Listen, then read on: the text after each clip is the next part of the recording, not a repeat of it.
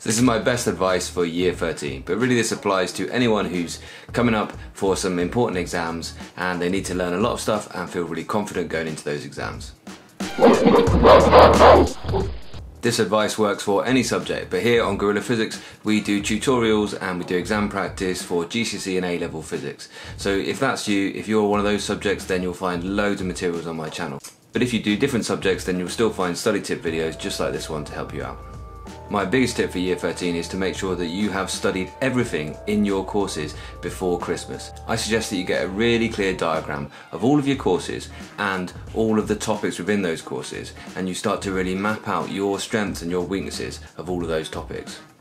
But what you need to do is quite early on in this year feel that you have at least covered everything once. Now the way to do that is to get ahead of your class. And the way to do that is to set yourself a target of covering every single thing in all of your A-levels, all of your GCSEs, whatever the courses are. You need to cover everything by Christmas time.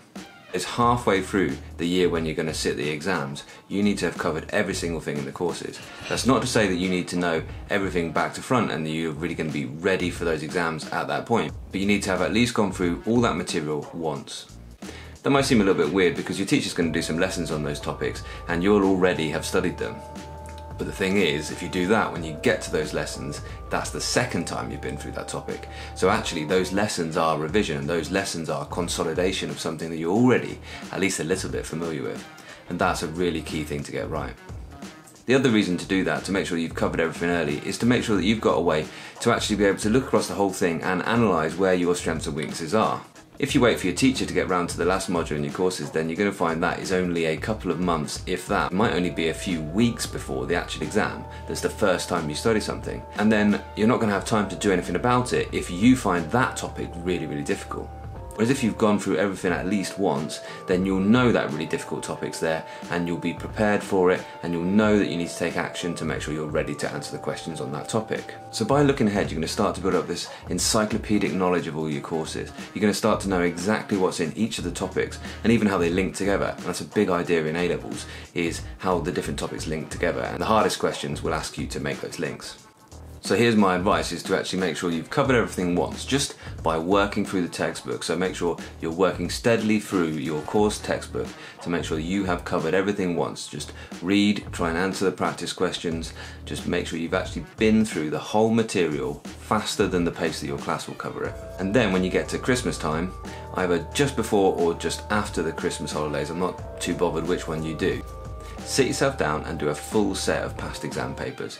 Do them timed and mark them really carefully and that is the way that you're going to know which of those topic areas you are strong and weak at.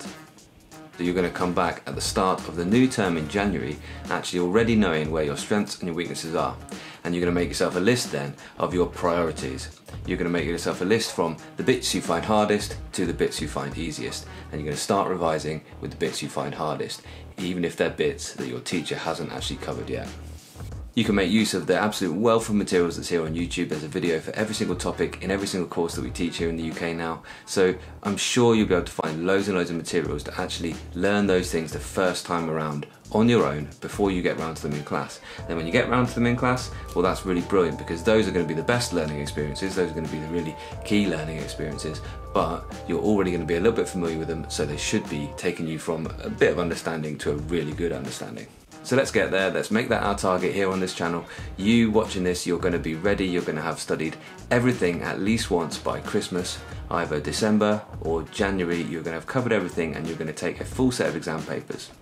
And then me, I'm going to be here to help you through the rest of the way, to talk you through all the different things that you can do to make sure you're revising well, to make sure that you're actually going to cover everything to the standard that you're going to need for those exams. You can do this, you have to believe in yourself, you have to get going, and you have to make sure that you are independently studying everything to make sure that you know your strengths and your weaknesses. Because that's the thing that makes the difference between the kind of middle grades and the top grades.